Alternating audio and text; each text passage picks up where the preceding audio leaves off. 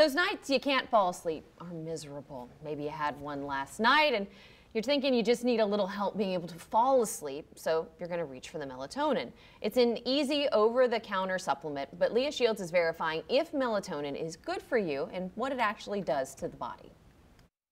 A study by Mayo Clinic Rochester shows millions of Americans are trying melatonin to help them sleep.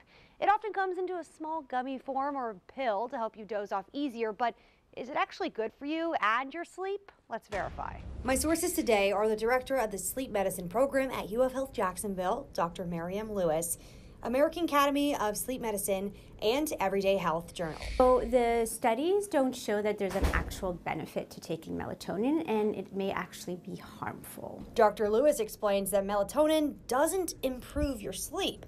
It's something we already have naturally. Melatonin is the hormone in the body that alerts you um, as to when you should be going to sleep. The goal is to help you fall asleep faster, but Lewis says the supplement doesn't do all that much. And it decreases the amount of time that it takes you to fall asleep only by about four to seven minutes. So it is really not a very uh, efficacious sleeping aid. Now to the dangers. The Everyday Health Journal says, unlike in the European Union, melatonin in the U.S. is not regulated. Lewis says studies have shown that the dose on the outside of the bottle isn't always what you're getting. It can be half of that or up to four times more.